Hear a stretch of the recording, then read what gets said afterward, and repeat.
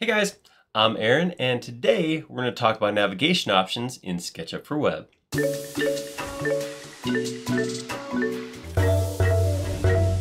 So, if you're like me, uh, regardless if I'm using SketchUp on uh, SketchUp for Web or SketchUp for Desktop, I generally use my mouse. Like 99 out of 100 times I use my mouse. But there are situations where I'm on my iPad, maybe I'm traveling, sitting on the couch, whatever, where maybe I don't want to mess with the mouse and I just want to, you know, work in a model without it. Um, I do occasionally use a trackpad. Some people out there like trackpads best. So there's, a, you know, we're all over the place with that. There are some settings specifically in SketchUp for Web for trackpad users. And it's important to know, even if you're a mouse user, if you always use a mouse, it's important to know about these settings because if they're turned on, they can play with how your mouse is working. If you are a trackpad user, it gives you more power in how you use the trackpad when you navigate inside of a model. Let's take a look at how these work right now. All right, so I am here, I got my mouse, I'm using my mouse, and if I see move, move my cursor, if I move my mouse around, if I hold down the wheel, I drag and I orbit as expected. This is what I would expect. Uh, again, as if I wanted to zoom in here, I would just come over here, roll my wheel up, and then, whoa, is doing something weird. It's not doing what I expect. Huh, that's unexpected. Maybe I should make a video about why that's happening.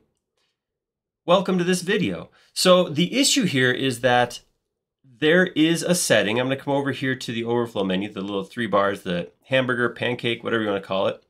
And then I'm going to click on app settings. In app settings, I'm going to go to the third tab, which is navigation. And right here, it says tell SketchUp for Web what device you're using. Are using a trackpad or a mouse? So I was using a mouse, but it was expecting trackpad input. So I'm to do this. I'm to take my mouse out of the screen. Therefore, now I can only use trackpad because that's how it works. If trackpad's turned on, now it's going to ask me two finger swipe is map to, and I have options here of orbit, pan, or zoom. I'm going to keep it on orbit because most likely I'm going to orbit more than anything else. But I do have the option, tells me below if I hit shift swipe, it'll pan, control swipe will zoom. And obviously if I switch this to zoom, now it's shift swipe is orbit, control swipe is pan. So I have three zoom options using a two finger swipe based on modifier keys.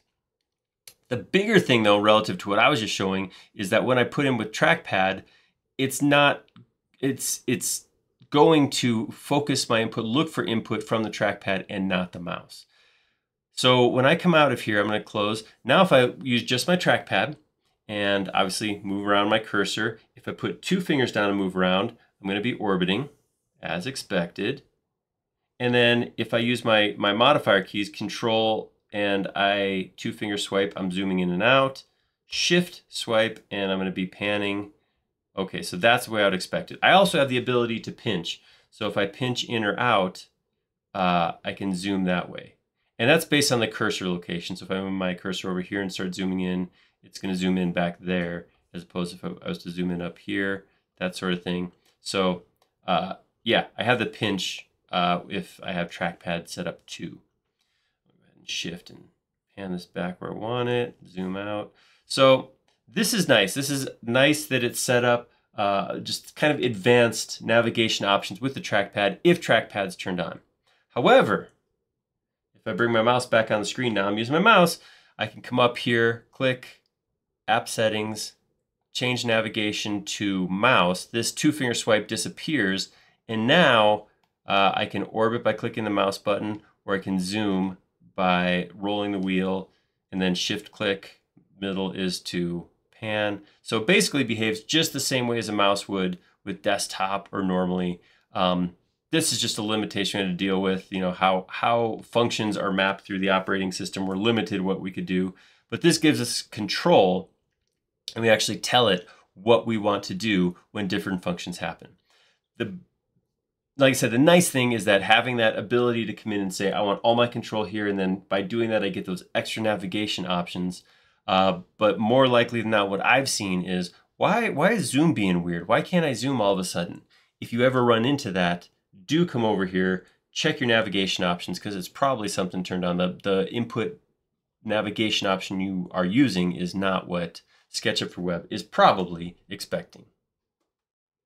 All right, so that was a quick one. That was short. That was not uh, not super long, but I wanted to bring it up for two reasons. One is I saw this come up on our forum, forums.sketchup.com. If you don't spend time there, it's a great spot to get your SketchUp questions answered. And two, because I ran into it. I grabbed my mouse and I could not zoom, and it was driving me crazy. And then I realized there's this checkbox, or well, I'm gesturing in the wrong direction. That checkbox we looked at. Um, so if you use SketchUp for web and you've run into those problems, just check, keep an eye on that. And again, if you switch back and forth like I do, it's just a matter of swapping that little check, that, that little little drop menu. Uh, go ahead and do that. But uh, yeah, if you ran into that, sorry, that's why. Uh, if you like that video, go click like down below.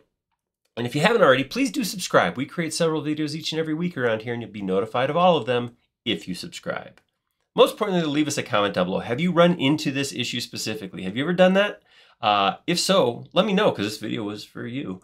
Uh, or do you have other ideas? Do you have ideas of what you think would make good videos? Workflows, tools to, to highlight, extensions? Uh, let us know about that in the comments too. We like making these videos a lot, but we like them even more when they're showing something that you want to see. Thanks.